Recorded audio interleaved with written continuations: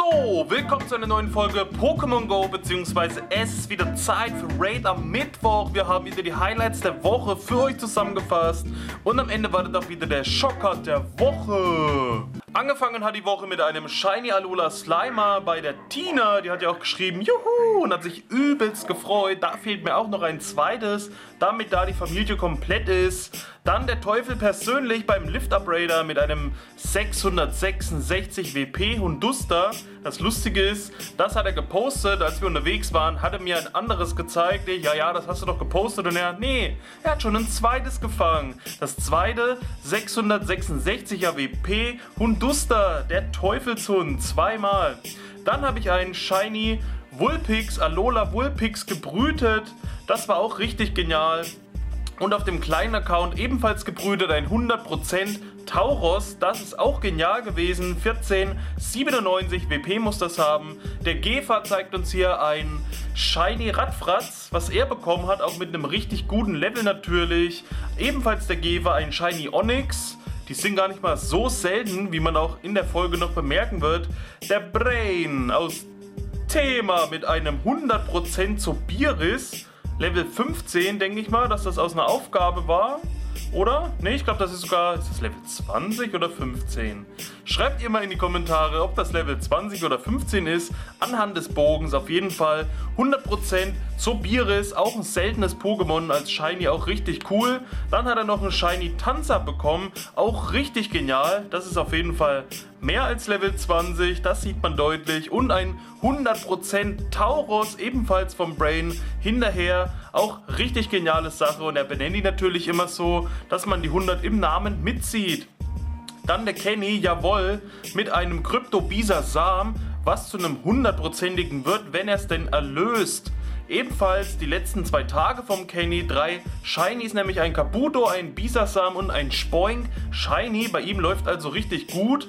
Dann der Pokefreak Red hat gepostet, ich hab's und hat ein Shiny Tauros bekommen. Das Gute ist, ach nee, da kommen wir nachher erst dazu. Merkt euch das mal ein. Shiny Tauros.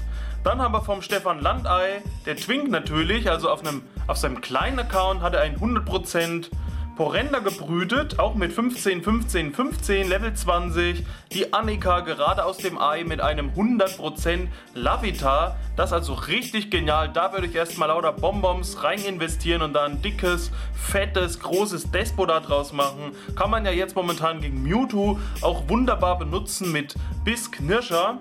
Wenn sie noch keine 6er Armee hat, weiß ich nicht. Dann der Bockwurst King, wo schon wieder eigene Nummer dasteht, weil der in seinem Account schon wieder auf meinem Handy ist. Mit einem Shiny Schmerbe. Der Brain aus Thema, der hat es mit seinen 100er. Das nächste 100er, ein Togepi mit 100%, auch ausgebrütet. Pupsi hat ein Kangama gebrütet, Level 20, erkennt man auch wieder an dem Bogen natürlich. Shiny Kangama. Dann gab es ein hundertprozentiges Raikou, sehr genial, in der Nähe von Frankenberg, Eder, Hessen. Vom Alex Hoffi. Und nicht nur das, der hat nämlich auch noch ein Shiny P gebrütet. Auch richtig genial, auch selten normalerweise. Shiny Nägelmon dann mit einem Shiny Pandimos, wild gefangen. Gefa mit einem gebrüteten Shiny Mobile. Jeder hat einen Shiny Mobile, nur ich hatte keins. Jetzt habe ich ja eins, habt ihr ja gesehen. Das letzte Mal in der letzten Folge. Dann von Marco der Start in den Tag mit einem Shiny Perlu. Ich weiß nicht, ob es sein erstes war oder ob der damals den äh, Quest Day mitgemacht hat mit Perlu. Da gab es sie eigentlich relativ häufig aus der Aufgabe. Ja, in diesem Sinne, guten Morgen. Pupsi wieder mal mit einem Shiny Togepi. Also die hat bald auch ihre eigene große Shiny-Sammlung. Dann habe ich einen Shiny Fluffeluff gebrütet. Und erst habe ich mir drei Stück rüber tauschen lassen, um jetzt selbst eins zu brüten. Ist sogar ein 98-prozentiges, was eben frei wäre zum Abgeben. Aber würdet ihr ein 98-prozentiges Shiny Fluffeluff wegtauschen oder würdet ihr das behalten? Schreibt mal in die Kommentare. Kommentare, was eure Meinung dazu ist. Dann ein kleiner Fake natürlich, wurde angekündigt. Der nächste X-Raid-Boss steht fest. Es ist Pikachu mit Strohhut. Und alles so, das kann doch nicht sein. War aber nur ein Spaß. Dann hat man gesehen, der nächste X-Raid-Boss ist Evoli mit Blumenkranz. War natürlich genauso fake. Alle haben sich besemmelt. Der Mitchell hat dann ein Shiny Raupi gefangen.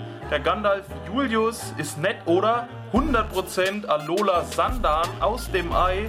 Richtig genial natürlich.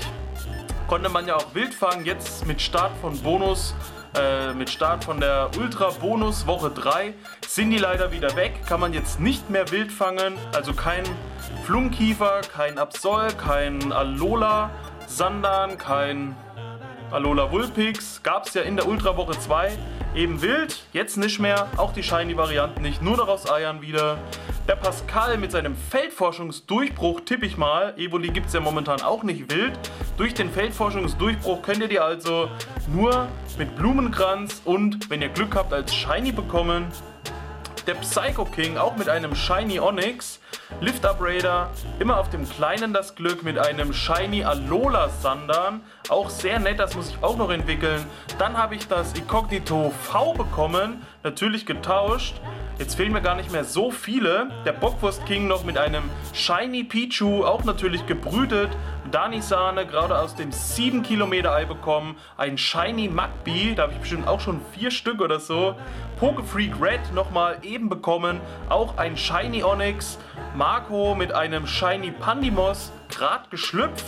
Schön pfeffigrün, wie man sieht. Der Gefer zeigt uns hier seine Nachtlampe. Das ist ein dickes Relaxo. Da kann man bestimmt auf den Bauch drücken und dann geht das an und aus. So was ähnliches hat Iswo ja nur als Hühnchen.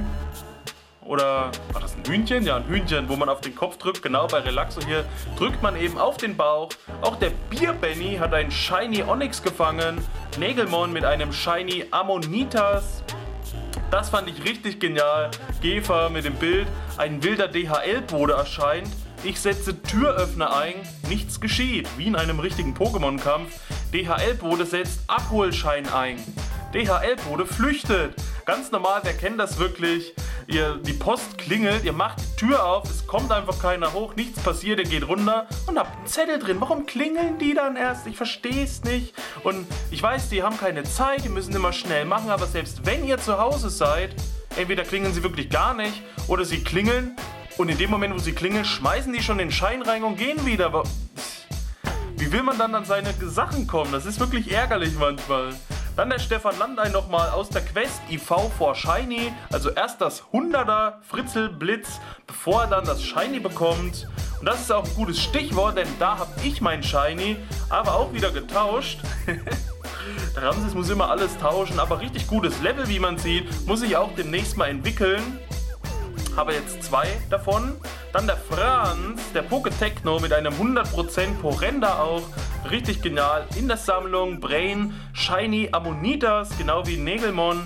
Und da sind wir schon wieder bei Nägelmon mit einem Shiny Tanza. Ich glaube, die wechseln sich mittlerweile ab mit den Shinies. Shiny Nägelmon noch mit einem Shiny Togepi und Shiny Kabuto, was aber glaube ich bei seiner Frau auf dem Account war, sieht man wieder an dem Handy.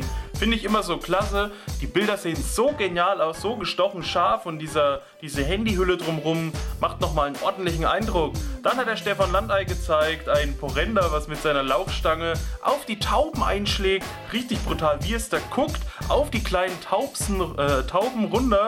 Taubsen, Dusselgur ist das nämlich, was da rumkriecht. Das sehen wir aber nachher noch. Dann noch ein Bild mit einer Stoffende und einer richtigen Lauchstange. Und als wir beim Grillen waren und haben die Burger gemacht, hat Flo auch so eine Ende im Garten sitzen gehabt und hat auch einfach so eine Lauchstange daneben, so eine kleine. Das war auch lustig. Im Hintergrund sieht man auch die Koalas, die Burger und natürlich die äh, Vanille Goldkrone. Darf alles nicht fehlen. Der Ben hat sein erstes Shiny Alola Mauzi gebrütet. Von mir möchte er ja dann noch das zweite haben. Dafür kriege ich auch mein zweites Shiny Mobile. Das steht ja auch schon fest, dass wir das so machen wollen. Bockwurst King auch mit seinem ersten Shiny Pandimos. Dann war der Community Day, Dani Sahne, ein Shiny Cellast bekommen, der Toni, Thema natürlich auch, da ging es richtig ab. Die ganzen Themaraner haben dann ihre Shinies gepostet, Cellast hier, Cellast da. Neben den Shinies aus dem Community Day gab es aber für die Terrorzicke noch ein Shiny Porenda. Für einen Toni aus Thema, juhu, noch ein Shiny Slimer obendrauf. Der Mitzenmann hat dann seine Ausbeute gezeigt. Der hat also 3, 4, 5, 6, 7, 8, 9, 9 Shinies bekommen von Shellast. Eins entwickelt zu Shelderer. Und zwischendurch ein Shiny Pandimos noch. Das war also wirklich cool. Alles irgendwie grün gehalten, wie ihr seht. Auch hier unten das Kingler. Der Brian Sprain hat sogar elf Stück bekommen. Elf Stück hatte auch Annika und auch ich. Das war ja das höchste, was ich gesehen habe. Und auch hier in Hibu der Gefa mit äh, einem Shiny Sheller, der Liquid Ghost. Das erste, was er angedrückt hat, gleich direkt Shiny. Lift Raider hat uns dann auch gezeigt, dass man jetzt auch ähm, Shellast als Krypto-Pokémon bekommen kann. Könnt ihr also jetzt auch nehmen und raiden, wenn man dazu raiden sagen will, bekämpfen. Der Stefan Landei hat seine 1000 Feldforschungsaufgaben ausgeführt, mit der letzten C-Day-Quest erledigt. Das glaube ich auf dem No Gym Account oder auf seinem großen. Das weiß ich jetzt gar nicht. Was steht denn unten? Ach so, No Gym. Kann man ja durchgucken, durch die Schrift. Der hat ja den Account abgegeben, also den hat ja der Nachtmare gewonnen. Aber Stefan Landei hat den C-Day nochmal mitgespielt, weil Nachtmare noch kein zweites Handy hatte und hat sogar jetzt noch eine Goldmedaille dazugeholt. Den Endstand sehen wir dann auch noch auf einem anderen Screen. Leider ist mir da das Real, The Real Mewtwo dazwischen gekommen. Das ist natürlich Freezer von Dragon Ball. Richtig äh, shiny, golden, also auf was für Ideen die Leute manchmal kommen. Dann der Toni aus Thema, auch mit einem Shiny Fluffeluff. Wir haben einen neuen Stop bekommen. Oben bei diesem Versorgungsamt, wo auch der Pferdestop ist, ist das glaube ich. Genau, an der Ecke da vorne gibt es wieder mal einen neuen Stop. Der Bockwurst King hat sein zweites Shiny Pandimos bekommen. Der Kenny hat ein Lucky, was ist das? Selfe? Selfe oder Toputz? Hat auf jeden Fall, ich sag mal Selfe, hat ein Selfe bekommen als Lucky Pokémon. Bier Benny mit einem 100% Mantirps, auch gebrüdet, 100% Babys, sind immer was ganz Besonderes. Das ist jetzt der Endstand vom äh, No Gym Account den der Stefan Landei an Nachtmare gegeben hat. 25,4 Millionen sind da drauf. 20 Millionen waren Level 40 und er hat jetzt schon wieder 5 Millionen mehr drauf und er wollte ja schauen, ob der vielleicht nochmal 20 Millionen drauf machen kann, der Nachtmare. Wollte uns ja auch immer mal auf dem Stand halten, wenn es was Neues gibt. Stefan Landei auch. Ui, ein Shiny. Seht ihr, wie das glänzt? Hat ein 100% Porenda bekommen beim Tauschen. So kann man es natürlich auch machen. Der Bockwurst King noch mit einem Shiny Shiggy. Wo ich sagen muss, das normale Shiny Shiggy fand ich damals viel seltener als das Sonnenbrillen Shiny Shiggy, weil da konnte man sich ja absprechen, wenn das bei einem aus dem Stop bei der Aufgabe kam, konnten alle dahin und haben alle dasselbe bekommen. Bei den anderen war das wieder individuell, deshalb die normalen Shiny Shiggys eigentlich seltener als die anderen. Andere, du hast nur Bahn und Pokémon im Kopf. Ich, regional, shiny regional. Das ist auch richtig genial, das Bild. Ihr seht die rote Bahn und wenn sie dann, wenn eine grüne Bahn kommt, das ist die shiny Bahn natürlich. Sieht auf jeden Fall anders aus, hat eine andere Farbe. Dann haben wir noch ein 100% Magnetilo, wieder mal aus Frankenberg-Eder. Da wissen wir schon, von wem das kommt. Aber nicht nur das 100% Magnetilo, sondern auch das 100% Porenda, nämlich vom Alex Hoffi. Heute mal wieder richtig Glück gehabt, schreibt er hier. Der Sly hat dann auch einen Shiny Pandimos bekommen. Dann war es soweit, 22 Uhr, Ultra Bonus, Woche 3 hat angefangen, am Montag, überall Schatten in der Nearby-Liste, die ganzen neuen Pokémon wurden eingeführt. Und das seht ihr auch schon, das dürfte eigentlich ein Nagelot sein. Aber warum haben die bei mir so einen komischen Namen, schreibt der Gandalf Jul Julius. Da steht nämlich einfach nur Pokémon-Name 0504. Hätte er natürlich die App neu gestartet, hätte es richtig da gestanden, er hätte alternativ den Namen auch selber dran schreiben können. Der Mitchell hat noch ein Shiny Traunfugil gefangen. Ich habe jetzt nicht die ganzen einzelnen Fänge von den ganzen einzelnen, den fünf Pokémon-Reihen. Die hat ja jeder fast selber alle bekommen, außer wenn was ganz Besonderes dabei war. Der Bierbani hat noch ein Bisasam erlöst, da ein hundertprozentiges Erlöstes bekommen, genauso wie ein 100% erlöstes Golbert.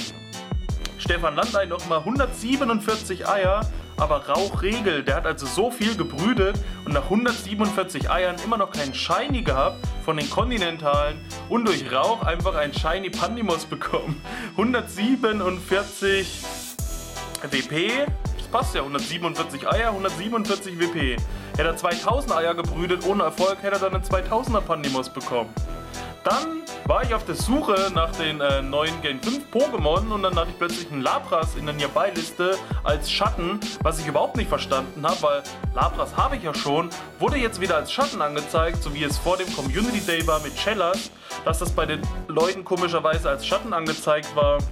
Dann habe ich einen Dusselgur gefangen und habe das auch gleich zu meinem Buddy gemacht, weil ich das nämlich richtig cool finde. Finde ich sogar cooler als Taubsi. Ihr könnt mich jetzt dafür hassen, aber guckt euch das doch mal an. Schon der Blick alleine, das Taubsi, das guckt immer so böse und eingebildet. Aber das Dusselgur, das guckt einfach nur dusselig und das finde ich sympathisch.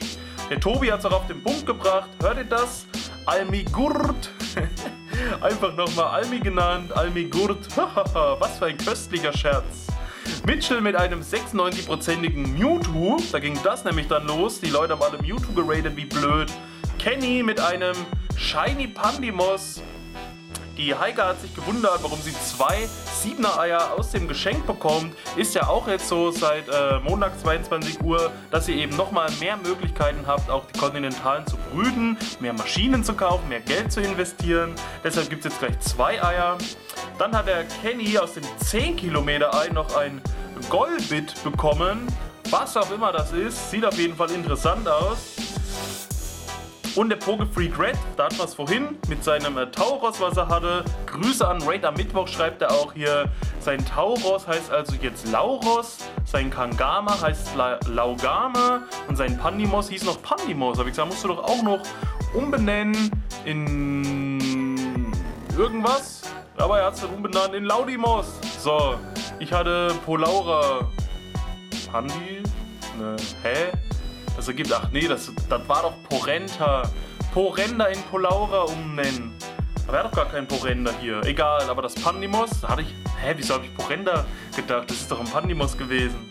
Deswegen hat es auch keinen Sinn ergeben. Genau. Auf jeden Fall, Pandimos hat er dann umbenannt in Laudimos, hat das noch gehabt. Stefan Landey hat mir noch ein Bild geschickt vom Schilling. Es sind übrigens wieder neue Boxen verfügbar. Passen dazu Design als Mülleimer natürlich, weil alles Schrott ist.